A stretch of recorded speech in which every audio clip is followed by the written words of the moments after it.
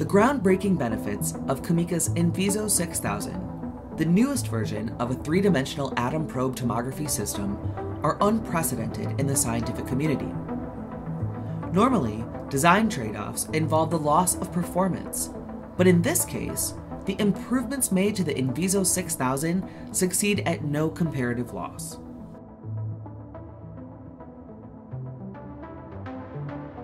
The deep UV laser wavelength creates uniform heat deposition and reduces evaporation field differences, delivering increased and enhanced specimen yields, as well as more accurate reconstruction. Invizo's dual beam illumination creates uniform heat diffusion, providing uniform field evaporation. The system uses one beam or a symmetrical two beam configuration and is automatically optimized by the control software. The Invizo 6000 offers an ultra wide field of view with a long flight path, capturing the entire internal volume depending on the specimen details. The advanced lensing technology delivers more than twice the data from each specimen, and in most cases, all of the data possible in the specimen.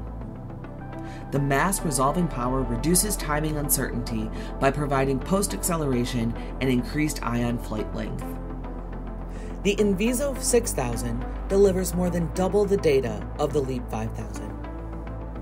The specimen aperture alignment is now completely automated, making for a fully automated workflow.